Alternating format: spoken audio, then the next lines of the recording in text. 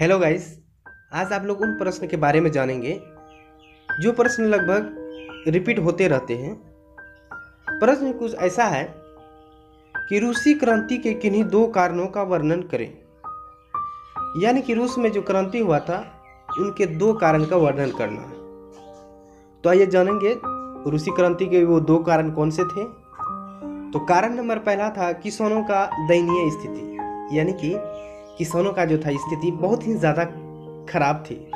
आखिर कैसे खराब था? आइए जानते हैं हम लोग कि रूस में जनसंख्या का बहुत ज़्यादा भाग जो था, किसान हुआ करते थे।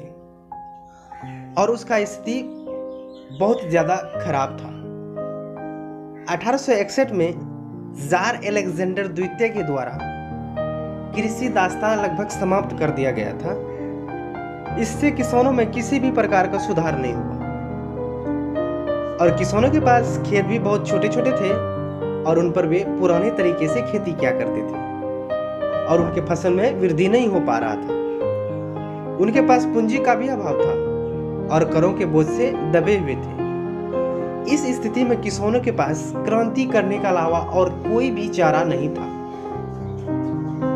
जिससे किसान को क्रांति करना पड़ा।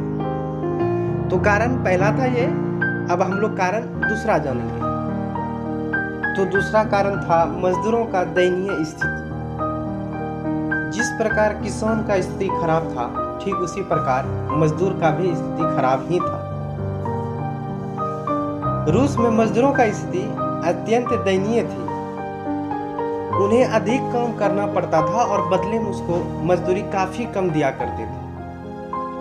साथ ही उनके साथ दुर्व्यवहार भी किया जाता था।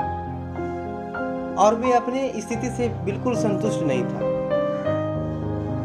और मजदूरों को कोई राजनीतिक अधिकार भी प्राप्त नहीं था, जिससे कि वो कार्रवाई कर सके और अपनी मांगों के समर्थन के लिए वो हड़ताल भी नहीं कर सकता था। तो ये था दो कारण रूसी क्रांति के।